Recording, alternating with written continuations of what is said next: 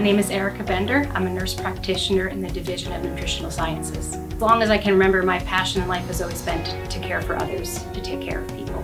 My job here is extremely unique and it's I really consider it like the best job ever. To be able to facilitate the research for the Faculty Nutrition is, is unbelievable. Currently right now we have 16 studies in the unit and we do a variety of procedures on participants. So we do blood draws and feeding studies, we do muscle biopsies, to look at sarcopenia or muscle, atrophy with aging. We do DEXA scans look at body composition, ultrasound, but whatever helps the faculty to accomplish their research is what we do here.